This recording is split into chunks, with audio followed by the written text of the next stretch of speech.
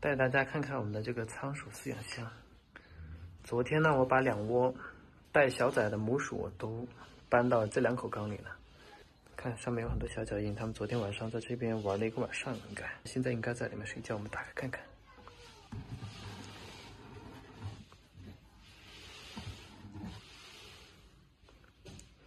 一只鼠妈妈和一窝小鼠崽啊。昨天晚上刚放的，它们就已经适应了啊，知道这上面是它们睡觉的地方。然后后面那个去看一下，这个原本是波波和熊哥住的啊，然后波波和熊哥被我放到其他地方了，因为他们两只鼠占了这么大的一个箱子，感觉感觉这个箱子应该给更需要它的熊住啊。这一这是一只鼠妈带了一群的孩子啊，原本是住在一个亚克力笼子里的，我觉得亚克力笼子太小了，然后像这样的空间的话。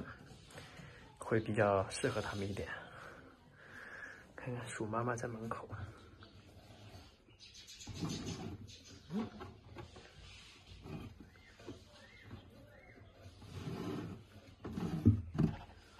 看一下，里面都是它的孩子。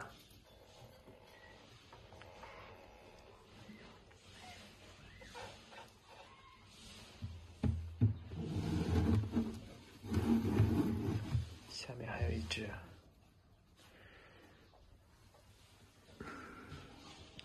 这边的土本来之前是很多的，被我挖掉了，挖掉，所以看上去不是很多了。他们直接从这里上，这里面还有一只啊。像这样一群，这样一窝小鼠仔，啊，在这里面生活的话，就空间非常空域啊。白天的话可以下楼挖土啊，玩跑轮，嗯，吃吃喝喝，他们就不会特别烦恼。之前待在小笼子里，待在亚克力笼子里，他们经常是会啃笼子，然后会很暴躁。然后在这口缸里呢，你看上去就不怎么暴躁，他们就感觉住得很舒心，心情就很平静，不会很暴躁。小鼠仔呢也可以充分探索，到处探索，然后在里面玩得很开心。后期我会拍一些他们在这个饲养箱里面生活的情况啊，生活的一些有趣的画面，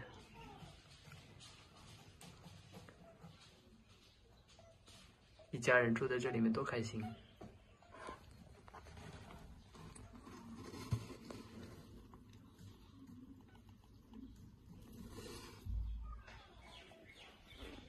然后我介绍一下啊，这口缸对比亚克力笼子，它有什么样的优势啊？看看我用过的几个笼子啊，这个笼子呢，你看用了几个月，已经被啃出了这么大的一个洞了。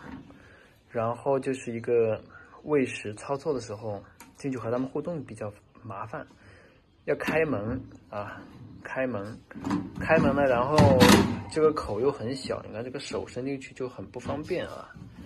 一是不耐用。第二个是跟它互动不太方便，第三个是这个盆儿太浅，垫料要频繁更换，三个缺点。然后是下面这个玻璃的啊，这么乍一看好像玻璃带框架，这玻璃的好像也挺结实啊，但是它的框架不是玻璃啊，看看这个用了几个月以后也被啃得一塌糊涂啊，除了玻璃的部分，这个仓鼠它都能啃掉。然后我们自己的这个呢？虽然说长度它也是很很窄，才四十五四十五公分长啊，四十级，但是它是有三层的，一、二、三三层，上面居住区，下面这边是吃饭娱乐啊，在下面是挖掘区，这空间就非常大。它上面待饱了可以去下面玩，下面待饱了又可以去下面，它可以来回的探索，这样它就不会很烦躁，它也不会啃。像我们这个笼子的话，你看它从来都不会去啃它啊。一个妈妈和八个孩子啊。住在这里面，八个孩子，他们白天的时候就会在这个房子里睡觉，晚上呢都会出来活动了。然后看看这边这个，这个也是一群孩子和和一个妈妈，妈妈啊，孩子。这口缸呢是六十 G 的，这样的话空间就更大一点。这个我们操作跟他们互动，你看这个空间是这么大，你看这就会很舒服，不需要开门，手直接就伸进来了，而且就在我们面前。然后这么观感的话是非常通透的，不会像亚克力或者玻璃什么的前面有一层雾茫茫的东西挡着，看不清它们啊。那这样我们就看得非常清楚啊。然后用这款箱子，主要要注意的是，嗯，要训练他们上厕所，这确实是个问题啊，不然他会在边角上撒尿。我看看到了啊，那边有点黑，但是问题也不大，拿个抹布给它擦干净啊，也没没什太太大问题。这个箱子也用了，也用了挺长时间了。你看，它是不会去啃的，没有一点点啃咬的痕迹啊，它完全不会啃啊，因为它这下面活动的空间太大了，它不需要啃。他们啃笼子的主要目的是为了扩大空间，因为他们在那个地洞里也是这样的。他想要把这个地洞扩大呢，他就不断的去啃来咬挖，然后让他们地洞扩大。然后他在笼子里呢，他以为也是能通过这种方式来扩大它的生存空间，所以他会拼命的啃笼子啊。像在这个这样的一口土缸里呢，它空间非常充足了，上下探索的区域很大，它就不会去啃笼子。然后再说一下，这这款缸呢，适合的人群是，呃，养仓鼠的进阶人群啊，就是之前用过铁丝笼、用过亚克力笼子，哎，他们都感觉，呃，不是他们想要的，那可以呃升级成这款，这款的价格呢，可能是亚克力笼子的两倍啊。你比如说，因为我这个空间也是很大嘛，空间很大，然后东西很多，这个玻璃呢是超白超白晶晶玻璃的啊。比普通的玻璃要通透。如果大家有喜欢这款笼子的话，可以联系我啊。行吧，那今天的视频就到这里，感谢大家观看，下次视频再见，拜拜。这个饲养箱用了一阵子啊，整体用下来还是非常不错的啊。小鼠子在里面生活的也非常开心，看下面都是它们生活过的这个痕迹啊。洞里面还住了一只，整体都是非常的好，就是有一个问题啊，小鼠子喜欢在这个角落里撒尿，我已经擦了很多次了，但是它们依然在这个角落里撒尿啊，呃，光擦呢可能治标不治本啊。今天我打算给这个饲养箱再做一个改进，我打算在这个部位开一个孔，然后下面做一个厕所，让它们直接能钻下来，就在那个厕所里上厕所，然后这个厕所是可以抽拉的。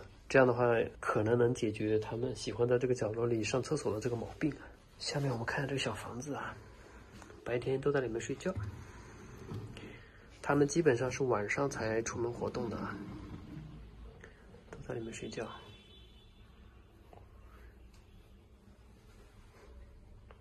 这个估计饿了。嗯，饿了出门找吃的，对吧？它们其实也是很聪明的啊！你看这上面这一层，他们自己居住的地方从来没有小便的，你看里面都是非常干净的啊，只有一些他们的大便。大便的话是比较干燥，不会臭啊。就是这个小便呢容易臭。下面我们就开始给他们进行升级吧。先把这上面的东西给它撤下来啊，把它们先都给搬出来啊。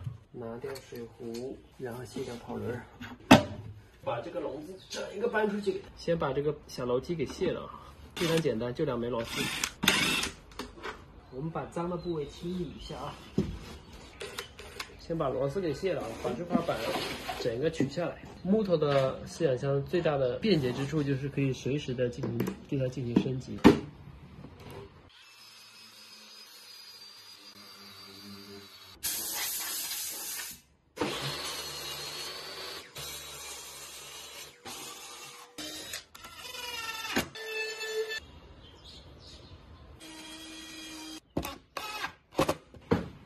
这样子就完成了。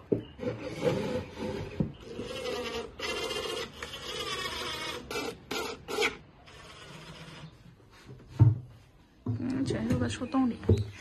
看一下，现在这样的话，他们上厕所就非常方便了啊！我操，不用跑到下面去上了，直接在二楼往那边钻进去，装上尿沙、然后往这里面上进去。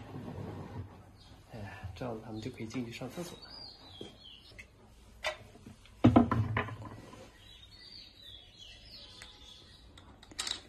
好看这个。